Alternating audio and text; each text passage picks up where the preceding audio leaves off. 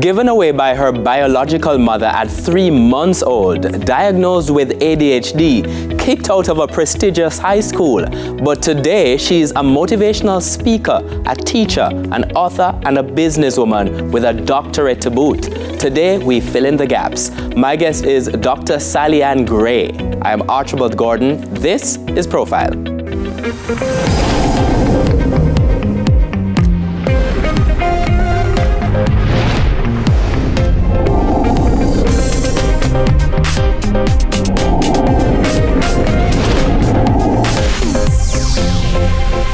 Dr. SallyAnn Gray, welcome to Profile. Thank you for having me. And we are absolutely delighted. You have a wonderful story. Educator, yes. an author, yes. a businesswoman, an entrepreneur. Yes. Um, and also fascinating because of the different kinds of challenges that you overcame. So overcame early challenges, including attention deficit hyperactivity Activity. disorder. Yes. People know it as ADHD.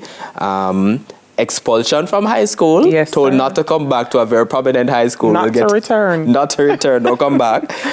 But you would return to that school as an educator. I sure would. And do, to, do really, really well. Also headed overseas. And some of the work that we're talking about now, the work as an author, yes. also forming your own business, occurring overseas. And congratulations, by the way, in the last year.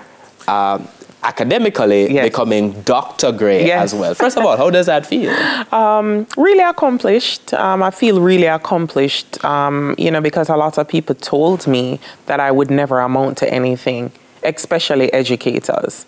So having achieved my um, doctorate in educational leadership is just a testament to me that all things are possible. From the start, a lot of challenges in your life, even at a point at which you would not have been able to um, know them. Mm -hmm. And I and I am speaking specifically here to the fact that as at three months out, mm -hmm. your mother was headed here, heading right out, here at the RJR Communications Group yes. to say to people um, I can't take care of my daughter. Take us through the story. So, as it would have been told to me by my adopted father for the purpose of the story, but he is my daddy, right? So, my adopted um, father, Selburn Sharp, he was driving right along here, Lyndhurst Road, and he saw a young baby, a young lady with a young baby in her hand, and it was drizzling. So, he, being the good, kind, compassionate person he is, he was like, let me stop and ask this young lady if she needs help or a ride. When he stops, she says, Yes, actually, I'm trying to get down the street to RJR on a radio program. I, he I heard them saying, If you have young babies, don't throw them away, don't throw them in the dumpster. If you're frustrated mothers, bring them here. So she was actually trying to make her way, way to RJR as he would have shared with her. And at the time, my dad said to her, Her, listen, my wife and I are unable to have children. Don't harm the baby. We will take the baby and care for her. And my dad will even tell the story of how after they exchanged some particulars in those days, there were no phones. So he's an educator, but he also sold insurance on the side with Mutual Life at the time. You, you remember Mutual Life yes. back in the day? So he took out his little Mutual Life book now and wrote down some information, all the information she gave him. And she had a little baby bag. It had my birth paper from the Kingston Public Hospital, and it had some few clothing items to include a little knitted sweater.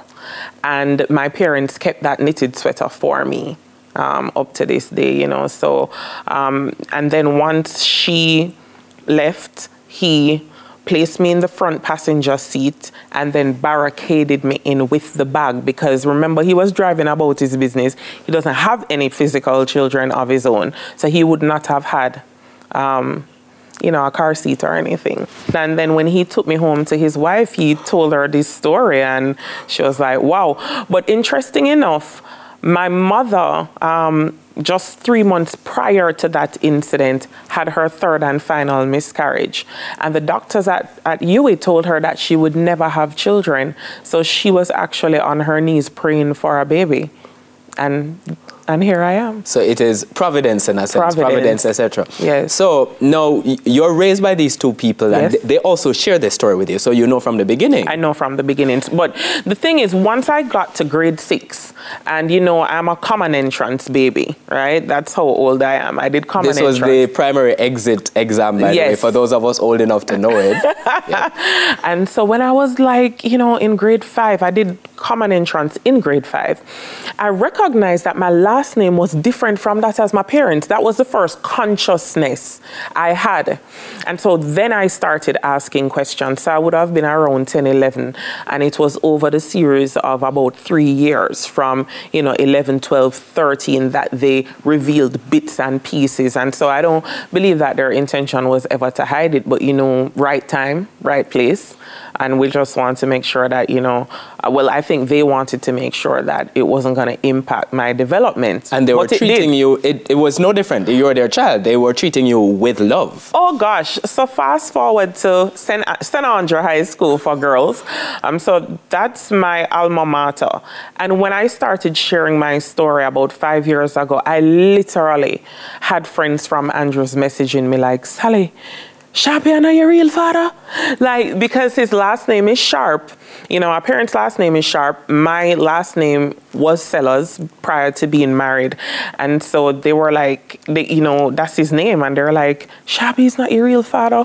And the reason why it was shocking for so many people is because never could you ever detect that I was not a biological child. I mean, the trauma I faced in my teenage years had nothing to do with their level of care for me. It was just coming face to face with my own fate and understanding, you know, wow, my mother gave me away and I think it did a number on me. And that's why I talk about mindset so much because I don't think people understand how childhood trauma you know, even through a seemingly normal childhood, can impact the way you move, the way you think, and the way you do things once you graduate into adulthood.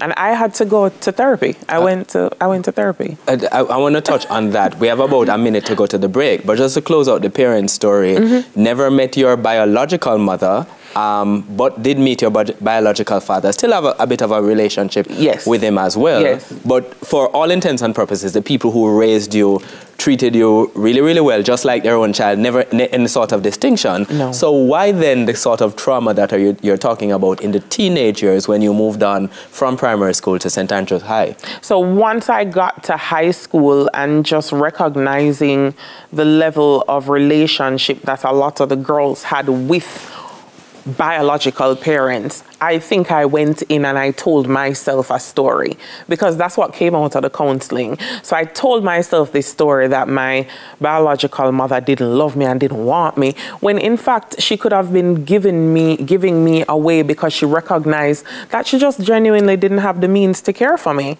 And maybe I wouldn't be here right now, right? So maybe she did it out of love. But at the time, I told myself that story. And so just observing all these other girls from very affluent families and you know they're they're like these are their biological parents, I made it become a problem. I, I want to, me. talk about how that actually manifested in your life, but we have to take our first break on profile. My guest is Dr. SallyAnn Gray. She is an, edu- an educator, she's an author, and she's an entrepreneur. And we're back with you on the other side of these messages.